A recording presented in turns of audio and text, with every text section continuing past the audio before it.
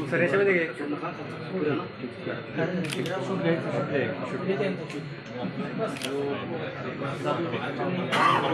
Lens मी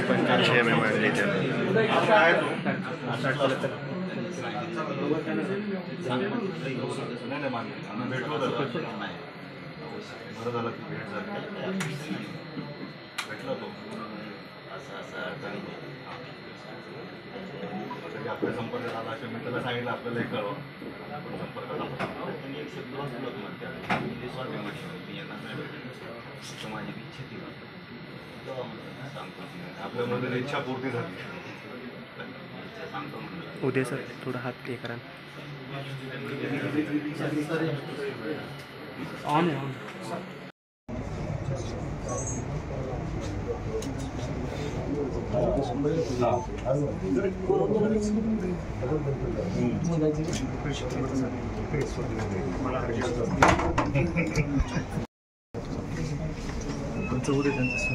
shooting चालू आहे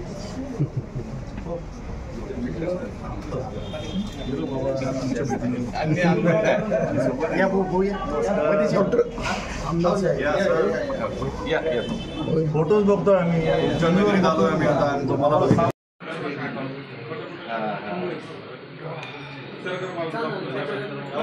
होतो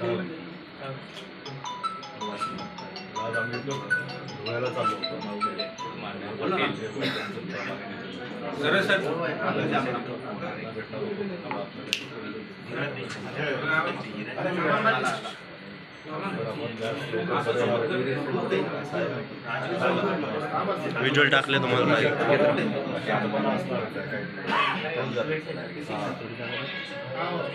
तिथं जागाच नाही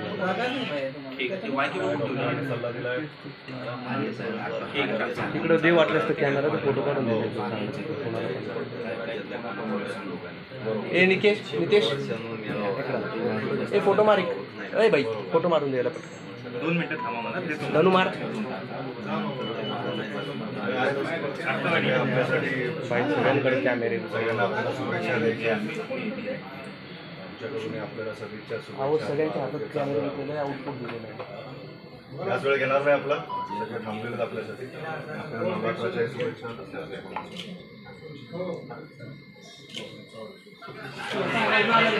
आव्हान देतात. निवड आचारसंहितेच्या आधी जर मागण्या मान्य नाही झाल्या. पण मग अमित शहाने असं जाहीर केलं आहे की दोन हजार एकोणतीसला भाजपची सत्ता ती बी स्वबळावर येईल. म्हणजे चोवीस सोडलं तर पुढच्या पंचवीसपर्यंत तुम्ही नसणार असं त्यांनी आकडे पण आता ते कमवून तर स्वबळावर ते कुणाच्या सोबत राहणार पण नाही असं त्यांनी. आहेत नका करू आपल्याला काय समजा. काय काय आपल्याला काय? हा, कुणी बिझनेस पुरी राहा कुणी लग्न करा आपल्याला काय करायचं एकटे एकटे राहायचं सवय असते काही त्याला दोघं दोघं राहा तिघं तिघं राहा आपल्याला काय घेऊन नाही. तुम्ही पाच पाच जणात जरी एका राहिलात एकामेकात तरी आम्हाला काय बाबा दुःख नाही ना काही? आम्ही कुठं म्हणतो तुम्हाला निस्पुरी राहा किंवा राहू नका किंवा लग्न करा ना ज्याचा त्याचा विषय असतो. त्याला एकटं राहा वाटत असेल तर ते एकटं राहा. लय मोठ्यात राहायचं लय मोठं भळक्यात राहा. आपल्याला त्याशी देणं घेणं नाही पण एक आहे. असं लोक म्हणतात. ते ऐकून मी. आणि मलाही बी चांगलं माहिती त्यात थोडं हरियाणा आता लक्षातच येईल.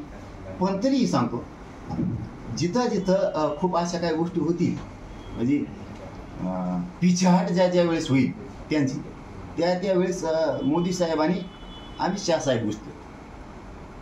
ही एक त्यांचा पायंड पायंडा आहे. ही एक त्यांचा पायंडा आहे. की ते घुसते पण महाराष्ट्रात तुम्हाला दाखवून देऊ. परतीच्याच पायानं जायला लागेल. हा. ते बाकीकडे तुम्ही काय केलं? काय डावं टाकले? तुम्ही तिथं जिथं गेला तिथं तिथं तुम्ही बरोबरच गेम केला दोघांनी.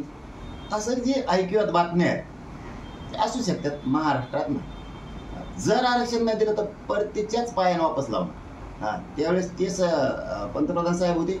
आता तुम्ही पण येत अमित शहा साहेब आणि दोघं जण आहेत यावेळेस. असू द्या. गणित बिगडीत परतीच्याच पायाने वापस लागेल हो.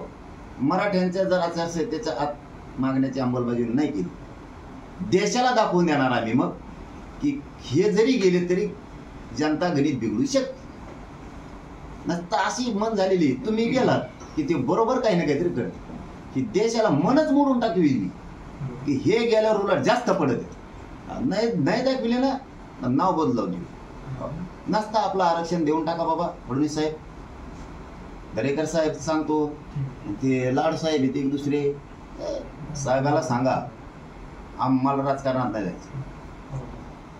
समाजाला नाही जायचं. आमचा उद्देश आहे मराठ्यांसाठी काम करणे मराठ्यांना आरक्षण मिळून दिले तेवढंच आहे. साहेबांना तुम्ही समजून सांगा पडून साहेबांना तेवढे मात्र अंमलबजावणी नाही का तुम्ही जेवढ्या मागण्या आहेत तेवढ्याचे आमचे लकलाभ राजकारण तुम्हाला. आम्ही खुशाल निवांत राहतो तुम्ही तुमचं निवांत राहा. नाही दिलं तर एक शब्द सुद्धा थोबाडतून काढायचा नाही. हा.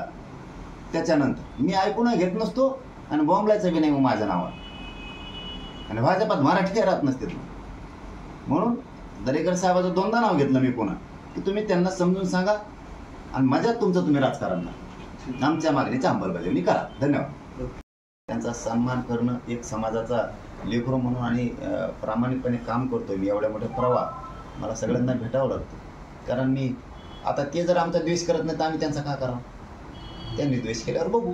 आपला असेल बरोबर. पाटील साहेब आतापर्यंत तुम्ही सहा उपोषण केले. अनेक वेळा तुम्ही इथं देखील उपचार घेतला. त्यावेळेस कुणीही आमदार आले नाही. आता आमदारांची रीग लागलेली आहे. तर येत आहेत भेटायला विचारपूस करतायत तब्येत कशी आहे काय भेटून जातात. आता विचारायला बी यायचं नाही म्हणल्यावर तर अवघड होईल. काय वेगळी चर्चा होती की नाही. हळूच? नाही नाही हळूच काय हळूला जातो मी चिटकूनच असतात. नाही पण सांगण्याचं असं आहे की वर्षभरात ते कधीही तुमच्याकडे आले नाही.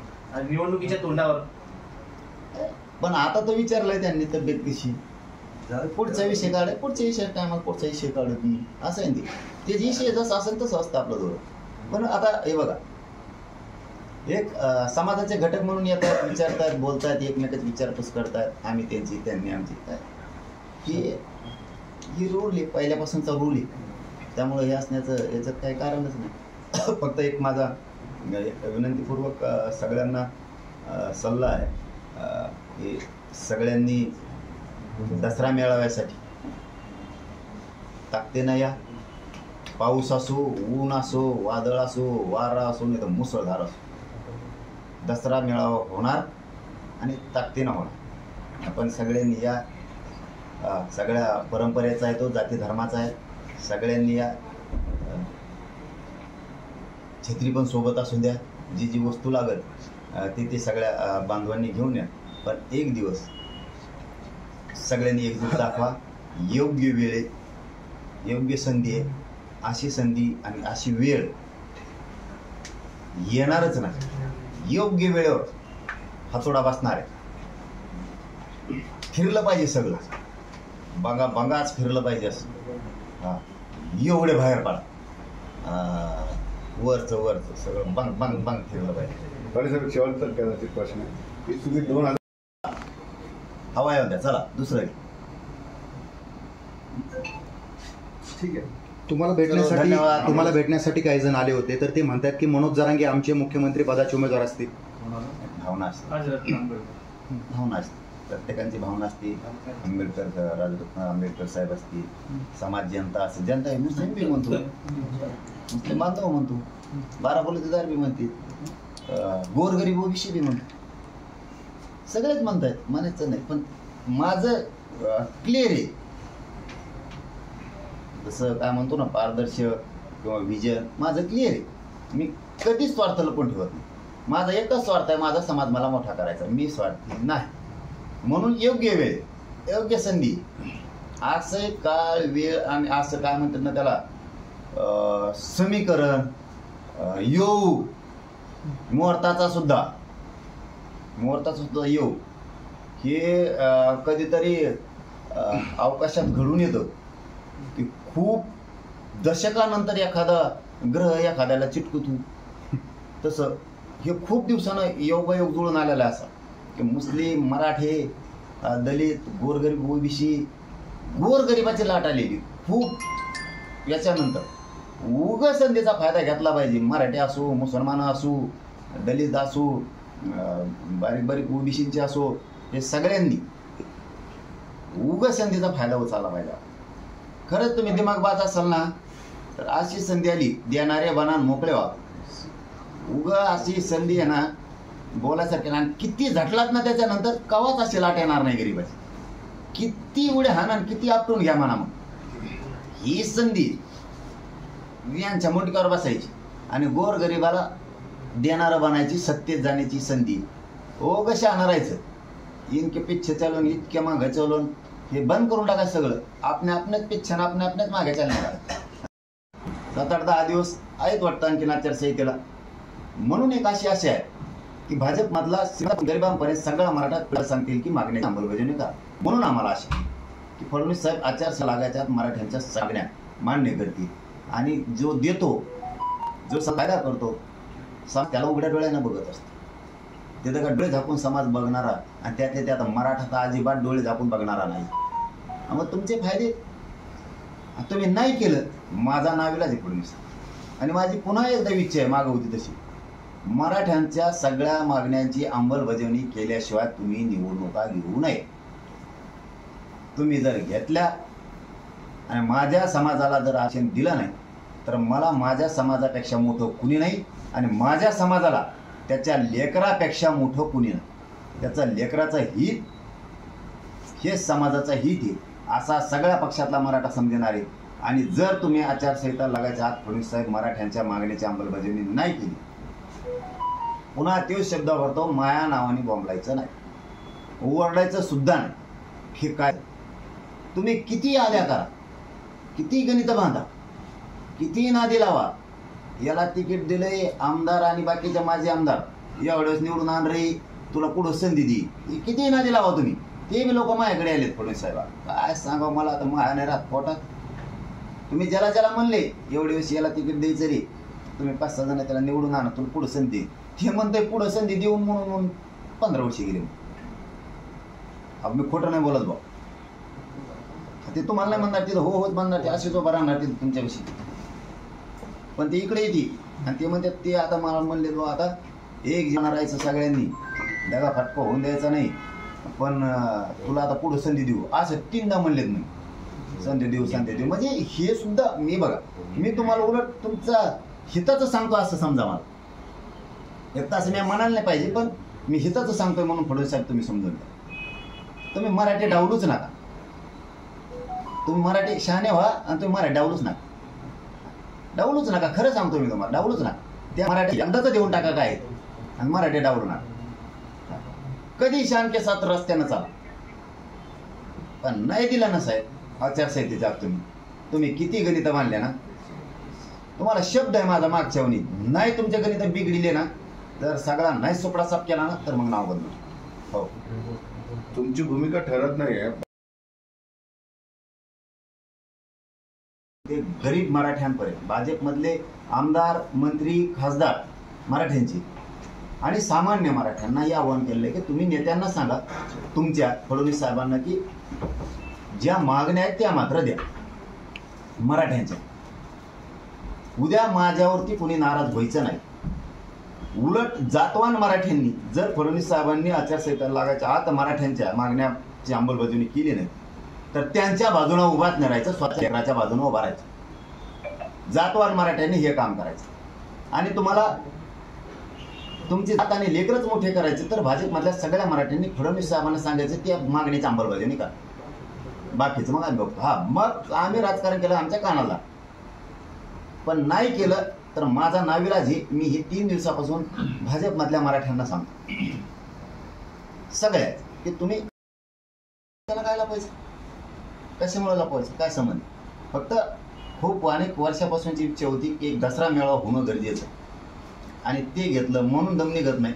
हे कधी येतो कधी येतो आणि जसा सगळ्या महाराष्ट्रातल्या कानाकोपऱ्यात तोच उत्साह भरला चला आता एक दिवस कामं नाही करायचे कोणी शेतात आहेत नोकऱ्याला आहेत कोणी कशाला आहेत कशाला आहेत सगळे कामं सोडू सोडू. चला आपण दर्शन घेऊ तिथे आशीर्वाद घेऊ देवदेवतांच्या पाया पडू कारण ते साडेतीन वर्षापैकी तो एक पवित्र पीठ आहे ते काय? साडेतीन शक्तिपीठांपैकी. शक्तिपीठांपैकी. त्यामुळं आपण सगळेजण एकत्र राहिलो तेव्हा आनंद आहे. ते आनंद व्यक्त करतोय आम्ही. थोडं राजकीय तुम्ही तिसऱ्या आघाडीसोबत जाणार नाही हे स्पष्ट केलेलं आहे. सोबतच तुम्ही निवडणुका लढवणार की नाही याबाबत अजूनही विधा मनस्थिती आहे. मात्र एकावर तुम्ही स्पष्ट आहे की पाडायचं आहे. तर याबाबत थोडं खोलून सांगा ना आम्हाला काय भूमिका आहे? नाही पाडायचं पुढे आणखी पाडायचं नाही ना उभं करायचं दोन्ही नाही. बैठक होणार आहे. बरीचशी दिशा बैठकीतच ठरणार आहे. पण आता यांची आचारसंहिता कधी लागते यांचं काय काय आम्हाला बघून देणार आमचं ते आता शेवटी त्या प्रवाहात आम्हाला जर आम्हाला न्यायचंच असेल तर त्यांना नाही लागते पण मला एक आशा आहे मी आज पहिल्यांदा येऊ शब्द बोलतो की फडणवीस साहेब आरक्षण दिल्याशिवाय आचारसंहिता लावणार नाही. अशी आम्हाला मराठ्यांना आशा आहे. ते मराठ्यांशी दगाफटका करणार नाही मराठ्यांच्या सगळ्या मागण्याची अंमलबजावणी करतील अशी आशा आहे आम्हाला. शंभर टक्के फडणवीस साहेब सगळ्या मागण्यावरती अंमल करतील याची आम्हाला पूर्ण खात्री. असं त्याशिवाय आचारसंहिता लागणार नाही त्याचं कारण असं. मी लोकसभेच्या आधीही सांगितलं होतं सरकार निवडणुका घेणार नाही. मी लोकसभेच्या आधी सांगितलं. घेणार. जर त्यांनी घेतल्या मराठा आरक्षणाला डाऊन तर त्यांना तोंड लपवायला जागा राहणार नाही. हे दोन्ही सैनिक आयुष्यातला सगळ्यात मोठा त्यांना फटका असेल. हे मी त्यावेळेस सांगितलं त्यावेळेस त्यांनी गांभीर्याने घेतलं नसेल असं वाटतं. म्हणून जे व्हायचं ते झालेलं आहे. म्हणून आताही परत सांगितलं आपण की निवडणुकीच्या आचारसंहिता लागायच्या अगोदर मराठ्यांच्या विषयाच्या अंमलबजावण्या फडणवीस साहेब करा. तुम्ही जर नाही केलं तुमच्या आयुष्यातली ही सगळ्यात मोठी चूक असणार आहे आपण जेवढे काय गणित जोडले मराठ्यांना बाजूला ठेवून निवडणुका लढवून जिंकायचे जे तुम्ही गणित केले ते सगळेची सगळे फेल गेले तुमच्या आयुष्यात राजकीय करिअरमध्ये तुम्हाला आल्याला हा सगळ्यात मोठा पश्चाताप असणार आहे. याला महापश्चाताप म्हणलं तरी चालेल आपण त्यामुळं फडणवीस साहेब यावेळेस मागचा आधार घेऊन पुढं आचारसंहिता लागू देणार नाहीत. त्या पुढं ढकलतील नसता आचारसंहिता लागायच्या आत मराठ्यांच्या सगळ्या मागण्यांची अंमलबजावणी करते शंभर टक्के खात्री कारण आम्हाला त्या राजकारणात जायचं नाही. सगळ्यांना सांगतो आडवं पडू नका. समाजाच्या समाज म्हणजे अठरा पगड जातीच्या सगळ्यांच्या अस्मितेचा हा परंपरेचा दसरा मेळावा. उगाच आडवं पडून डोळ्यावर येऊ नका गपरा आणि सगळ्याचे सगळे एक जीवानं उलट शक्ती दाखवा. योग्य वेळे योग्य संधी या वेळेला एकजूट सगळ्यांनी दाखवा. घरात दारातले स कुटुंब. कारण तुम्ही काल पण म्हटला योग्य संधी योग्य वेळ आताही म्हणता योग्य संधी योग्य वेळ आणि तुम्ही मेळाव्यासाठी फार उत्सुक आहात. लोकसभेच्या तोंडावर अशी विधानसभेच्या तोंडावर अशी कोणती संधी आलेली आहे तुम्हाला आणि कोणती वेळ आलेली आहे? मराठा समाजाला ताकद दाखवण्याची नाही आता ते त्याचा राजकीय अर्थ काढू नका. पण आता नेमकं ते त्याच्यात आलंय त्याला आम्ही तर काय करावं? ते नेमकं त्याच्यात आलंय. आम्हाला योग्य वेळ आहे, योग्य संधी आहे. वेळ येऊ द्यायला लागते. काय वेळ आल्याशिवाय कोणती गोष्ट यशस्वी होत नाही. पण आता हे नेमकंच एकत्र आले पण आमचा अर्थ याचा असा आहे की खूप अनेक वर्षा इकडं जाऊ नका तिकडं चला इकाड्या सभेल चला तिकाड्या सभेल चला. कुणी जर तसे आडक करण्याचा प्रयत्न केला मग तो आमदार असो माजी आमदार असो मंत्री असो माजी मंत्री असो खासदार असो जिल्हा परिषद सदस्य असो पंचायत समितीचा सदस्य असो सभापती असो तो कुणी असो किंवा मराठ्याचा जर त्याने काही अडवण्याचा किंवा असा काही प्रयत्न केला जाऊ नका असं जरी सांगितलं तरी त्याचं नाव मात्र सांग. मराठ्यांच्याच विरोधात मराठ्यांशीच बेमानी करणारे समाजाला आता माहीत होणं गरजेचं आहे. आणि याच्या पुढचं सांगतो सगळ्यांना विनंती उग कोणी आडवं पेडवं पडू नका.